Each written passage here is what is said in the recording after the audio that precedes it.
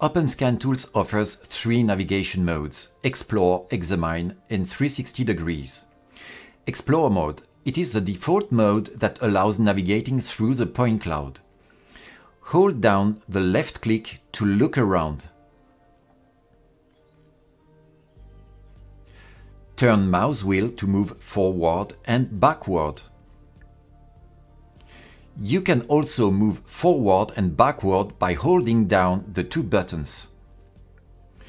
You can also accelerate by holding down the Shift key and slow down with the Control key.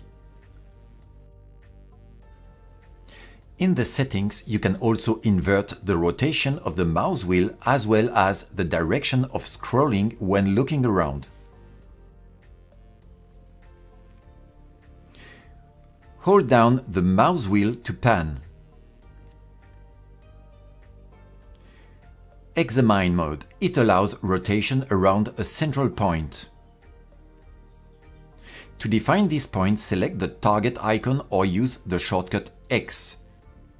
A rotation point has been defined and is displayed in orange. You can now rotate around the point and move towards or away from it.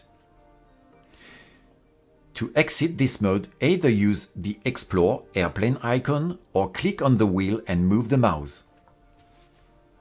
Note that for the moment, the rotation point is off-center, but it can be centered.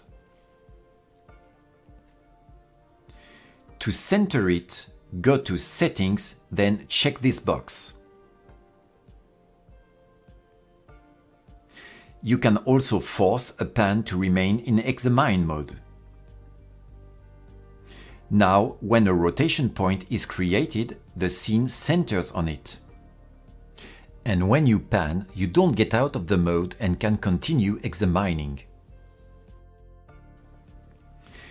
The only way to return to Explore mode is via the airplane icon. Personally, I often leave these options unchecked. 360 mode. It allows you to move to the position of a station. It only works if you have individual stations. To access this mode, either double-click on the scan marker or on the scan name in the tree structure. Now you are positioned at the center of the scan and can only see the points of this scan. Please note, we are looking at the scan points, not the associated 360 image.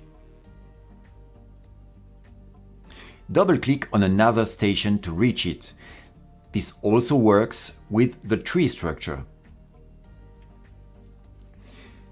To exit this mode, click on the airplane icon or click the mouse wheel and move the mouse.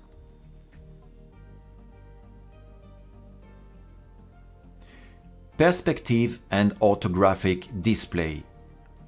This point cloud is currently displayed in perspective mode.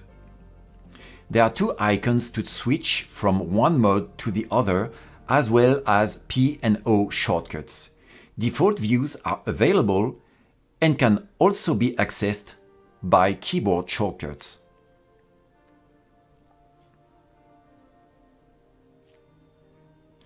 Return to perspective mode with this icon or press P.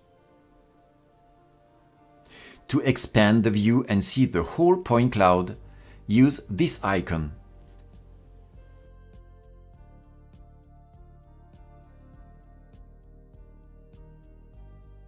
You can also rotate in 90 degrees steps by clicking on this icon. Depending on the mode, explore, examine, you can rotate around yourself or around the examination point. The list of keyboard shortcuts is available via this icon.